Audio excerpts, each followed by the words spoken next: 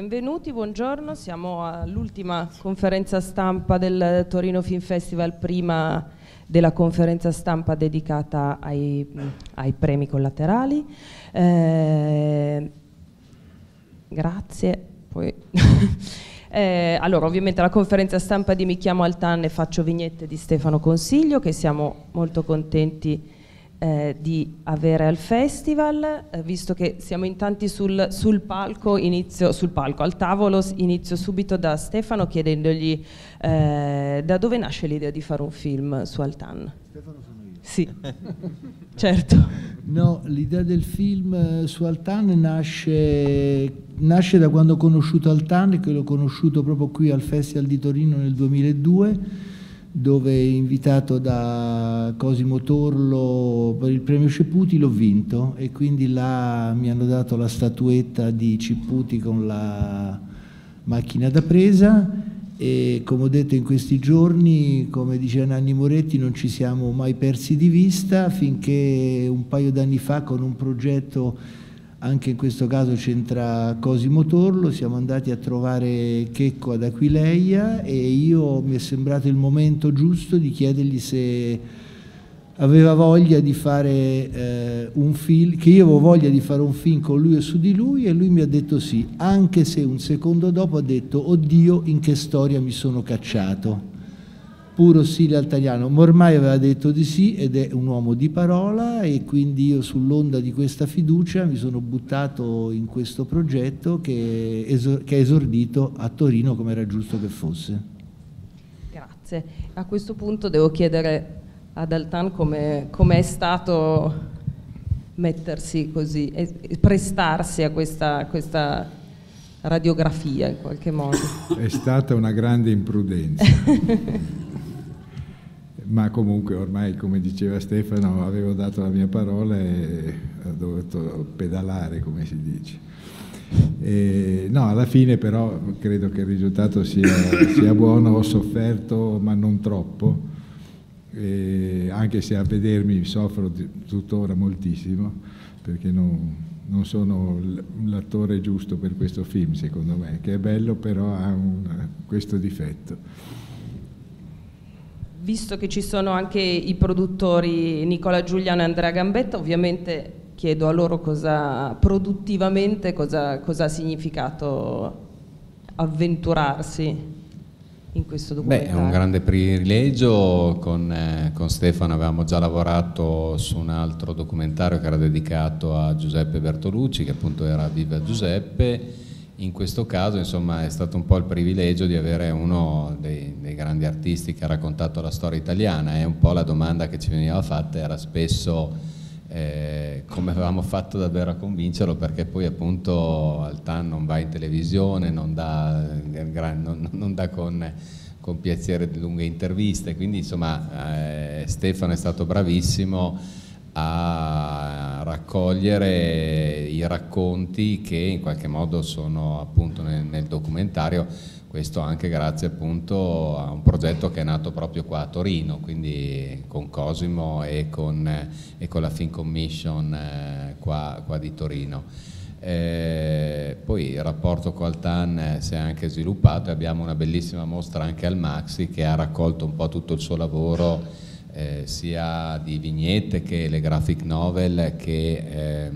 i lavori per, fatto per i bambini, però credo che il documentario abbia un po' questa particolarità di mostrare eh, tutta una serie di aspetti inediti eh, de, de, dell'uomo, della bella persona che è in qualche modo Altan e un po' eh, racconta anche da dove eh, raccoglie le sue esperienze, le sue, insomma tutta una serie di riflessioni che credo siano insomma, venute fuori in maniera convincente e completa. Ecco. No, io, mm, io, sono entrato in corsa, diciamo, un documentario già, eh, già messo su eh, produttivamente da Andrea, una, un lavoro lungo, complesso e, e, quindi quando Andrea con cui avevo già avuto occasione di lavorare, fra l'altro un che era proprio un concorso qui a Torino anni fa, e mi ha raccontato del documentario di Stefano, un regista che stimo molto, e il fatto che ci fosse la possibilità per me di eh, in qualche modo di entrare in un progetto dove c'è un, un, mio mito personale, cioè Altan, e non ho avuto nessuna esitazione. Fra l'altro anche il, prima, il, primo riconoscimento di un premio in un festival avuto nella nostra, nella nostra società è proprio in Ciputi, vinto tantissimi anni fa qui con un documentario che si chiama Pesci Combattenti, quindi mi sembrava una linea che andasse perfettamente a ricongiungersi, quindi sono molto orgoglioso di essere entrato in questo progetto. Paolo, abbiamo sentito appunto che il, il, progetto è nato in un certo senso qua a Torino, ha ricevuto il sostegno della Fin Commission, in che, in che modo Fin Commission ha contribuito alla realizzazione di questo film? Uh, Film Commission Torino Piemonte ha contribuito alla realizzazione con, con un contributo del Piemonte Doc Film Fund, il fondo per il documentario che, che abbiamo avviato nel 2007. Questo credo sia stato il lavoro più facile per la nostra commissione, la commissione di, di valutazione nel momento in cui ha letto il progetto in una frazione di secondo ha pensato eh, che che fosse da sostenere. Rubo, sbagliandola, forse una citazione di un autore che Nicola Giuliano conosce bene, non era solo bello, era proprio giusto di, di, sostenere questo progetto perché è nato a Torino, perché c'è un legame eh, profondo, per, anche perché premio Ciputi a sua volta parte da un Ciputi operaio che con Torino e con, eh, con questa nostra regione ha un rapporto profondissimo, ma poi, ma poi c'è un rapporto anche eh, di cui sono felice che Altan abbia parlato del rapporto anche poi su, sulle storie della Pimpa e di altri personaggi di tutta un'altra parte dell'Altan che, che, che, tutti noi amiamo, che è collegato anche con, con, il lavoro fatto a Torino dal mondo dell'animazione, ma poi, ma poi il fondo che volevamo era qualcosa che sostenesse chissà raccontare non solo noi ma, ma, ma il mondo eh, ricordare ma anche, ma anche, stare sull'attualità e io credo personalmente che nessuno come Altan abbia saputo e, e, e sappia ogni giorno continuamente eh, raccontare il mondo con uh, così lucidità, anche ferocia e nello stesso tempo dolcezza e quindi credo che appunto fosse giusto che questo progetto che ha eh, tutte queste persone che l'hanno lavorato con così grande passione e competenza eh, fosse, ci fossimo anche noi. Ecco. Volevo chiedere a Stefano, ehm, ci sono lungo il film una serie di emergono una serie di, di, di concetti fondamentali nell'arte di Altan che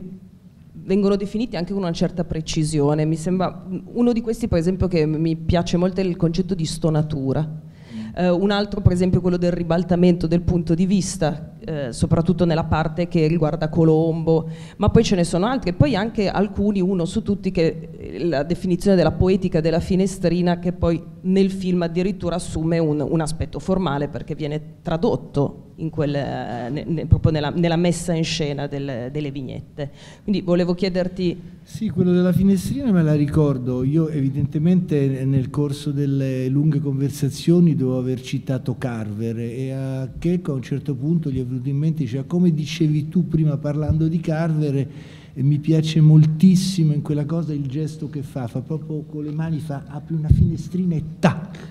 quella cosa là è, è molto bella e penso che tu ti riferisca alle vignette che io poi ho fatto con, non so se viene da quella finestrina, mm, forse inconsciamente sì, eh, come mi hanno chiesto, dice che difficoltà hai avuto nel fare questo lavoro? Assolutamente nessuna, è tutto scivolato eh, così, mi ero un po' anche abbandonato, come dire, a una specie di intuito e non sapevo che altro seguire se non il mio intuito. L'unico momento di ansia, se così vogliamo definirla, è quando mi è venuta in mente l'idea di fare delle vignette filmate, dalle quali avevo assolutamente escluso il Cipputi perché il Cipputi non è riproducibile. Il mm, Cipputi mi viene in mente appunto, l'ho detto tante volte, dei versi di Attilio Bertolucci che dice noi ultimi figli dell'età impressionista a cui è concesso soltanto di copiare dal vero quindi Ciputi è proprio è diventato più vero del vero, rifare Ciputi sarebbe stato il vero del vero, non era possibile. Gli altri mi è sembrato, alcuni degli altri personaggi, sono tantissimi, insomma alcuni dei personaggi a partire dalla donna, dalle sue belle donne, boccoli, ma sempre pensanti,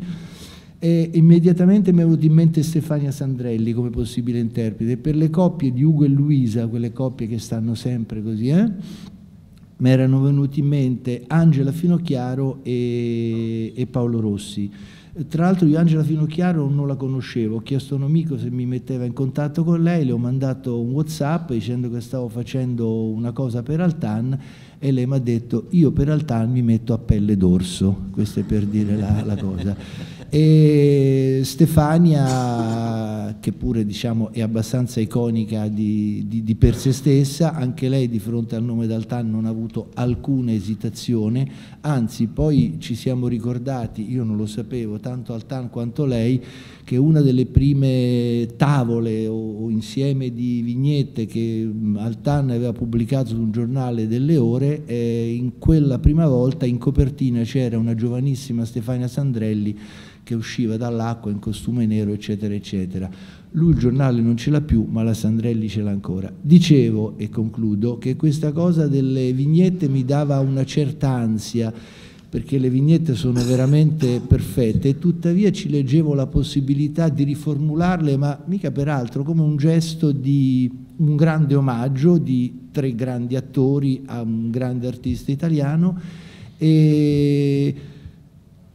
quando ne ho parlato con Altan lui mi ha dato la sua benedizione laica, ma sempre benedizione era, mi sono buttato e mi pare che il risultato sia soddisfacente. A questo punto devo chiedere ad Altan se la benedizione, quando ha visto il risultato, la benedizione ci stava. Le è piaciuto vedere sì, le sì, sue... poi se mi esce una benedizione non posso sicuramente tirarmi indietro, quella benedetto è e benedetto resti, insomma. No, no, ma sono contento del risultato. Come diceva Stefano, è un'operazione un po' rischiosa perché soprattutto eh, c'è una voce interiore che ha il lettore delle vignette, che si legge con i tempi, con l'intonazione che ha nella sua testa, quindi proporgliene una esterna, definita, si corre un rischio, ma in questo caso mi sembra che l'abbiamo evitato, cioè lui l'ha evitato. Um, Abbiamo citato più volte il, il, premio Cipputi e il personaggio di Cipputi ovviamente, anche perché appunto Stefano l'ha vinto e, e, perché è uno dei premi eh, a cui siamo molto affezionati al Torino Film Festival. Durante il film appunto Cipputi non è uno dei protagonisti di queste vignette ma chiaramente ritorna spesso e vengono date varie definizioni del personaggio di, di Cipputi dai, dal, dai perso, dalle persone che parlano. Ezio Mauro dice appunto che Cipputi è archeologia del vero, un, il simbolo di chi lavora bene, un'altra definizione che viene data, l'emblema dell'etica del lavoro e della dignità umana. Michele Serra dice che è la struttura ambientale del filosofo. Per te Stefano chi è Cipputi? Eh, eh, come dice a un certo punto a saperlo eh, Ciputi è, lo so, è, unico, è, uno che sta con te, eh, che, che, che, che, ti accompagna.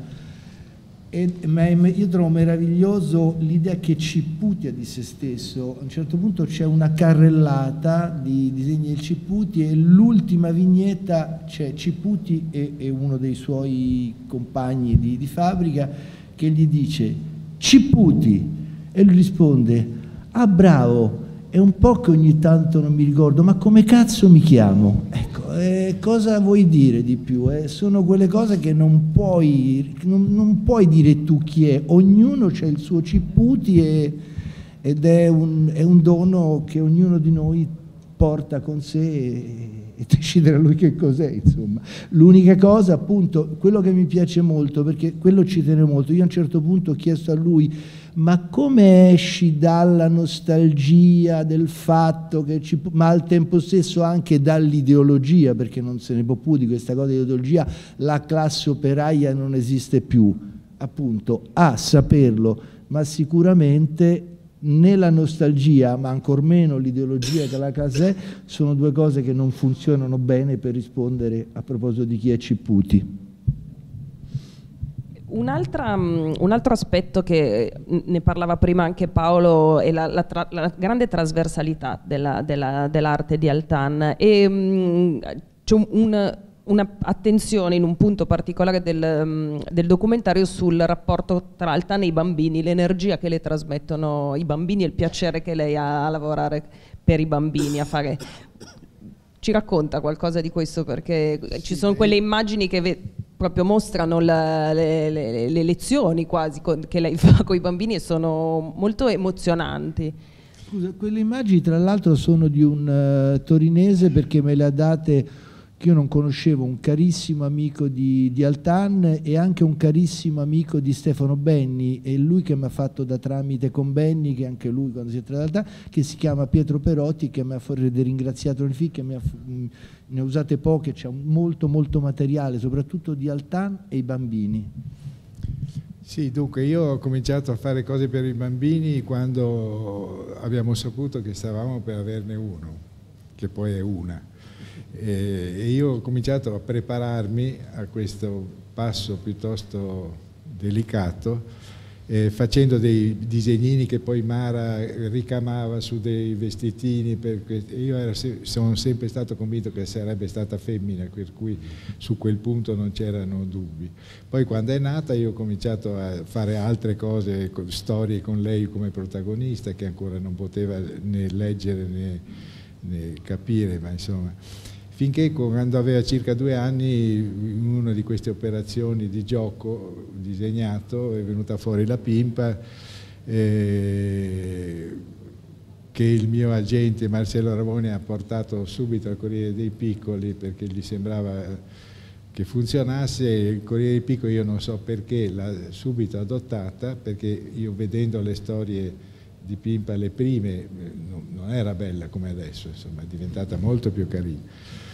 e però è piaciuta e da lì è cominciata questa storia che va avanti più di 47 anni ormai, che faccio pallini rossi su, sulla cagnolina. E ogni tanto vado in qualche scuola, in qualche biblioteca dove incontro i bambini e che la cosa bella è che loro non sanno che io sono l'autore, perché l'autore a loro non interessa per niente però mi, quando comincio a fare la pimpa per loro c'è subito uno che dice ma come la fai bene? Allora io, eh, eh, questo ci mette tutti a nostro agio, poi io faccio delle cose, loro le colorano. L'ultima cosa che ho fatto con questi bambini è stata poco, pochi mesi fa a, a Bassano del Grappa, e alla fine eh, qualcuno ha chiesto a uno di questi bambini, che c'era un po' di televisione, un po' di cose locali che filmavano, ha chiesto al bambino cosa te ne è sembrato di questo signore che è venuto qua. E lui eh, questo ha detto, è bravo ma è gentile. e questo è, I bambini mi, mi piacciono per questo. Se ci sono delle domande, naturalmente fate un cenno che siamo in, in chiusura. Nessuna, nessuna, domanda. Bravi. Penso su questo. Bravi, benissimo, mi, mi, sembra un'ottima conclusione per la nostra conferenza stampa. Vi ringrazio molto per essere stati qui con noi, per averti, averci portato questo film così umano. Eh, grazie davvero. Grazie a voi. Grazie a voi.